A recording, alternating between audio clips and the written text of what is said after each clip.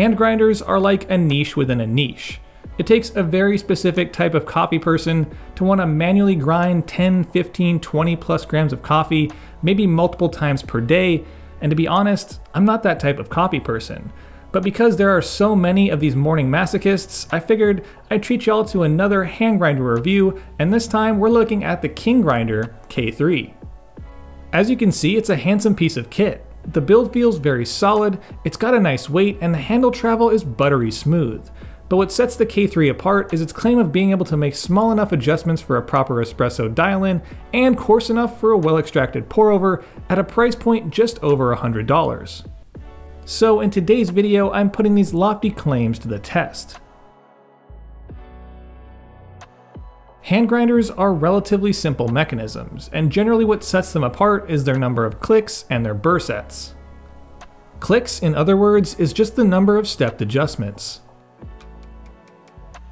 The K3 boasts 140 clicks over the course of multiple full rotations, each click resulting in a change of 18 microns, which for reference, these holes are the size of 250 microns. Yeah, it's pretty small. This all sounds good on paper, but I did find it a bit clunky and awkward to switch between espresso and pour over quickly and accurately, spending what felt like a good amount of time counting clicks. The burrs in the K3, like all hand grinders, are conical, but clock in at a pretty big 48mm, which is 9mm larger than the famed Comandante and 6mm larger than the previously reviewed Chestnut X, and also 15mm smaller than my current daily driver, the Niche Zero.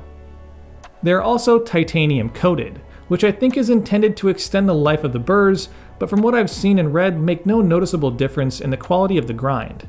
The workflow is your standard hand grinder program. Remove the handle, then the lid, add your coffee, replace the lid and handle, and then give it a good crank. Which has a nice smooth travel and a comfortable grip, plus the larger burrs make the grinding process a little smoother and quicker. The result is a catch cup of ground coffee, which should have no more than 0.01 grams of retained grinds. This kind of goes without saying, but espresso and filter are two very different brew methods, and they can highlight where a grinder excels and where it may fall short. Brewing a pour over using the K3 was a rather uneventful experience, in a good way with it working just as you'd expect and producing a tasty cup of coffee with a good balance of flavor and a respectable extraction percentage. One thing worth noting though is the K3's grind consistency tends to decrease when grinding coarser, resulting in some faster brew times, so I'd recommend grinding finer, roughly 5 or so clicks to offset that issue. Now onto my brew of choice, espresso. On finer settings, the K3 produced a more uniform grind, and when prepped properly, it produces bottomless extractions that any barista would be proud to achieve. In the cup, the espresso had a good balance and a surprising amount of clarity, but I did feel like it fell a bit short in texture, which is one of my favorite things about espresso.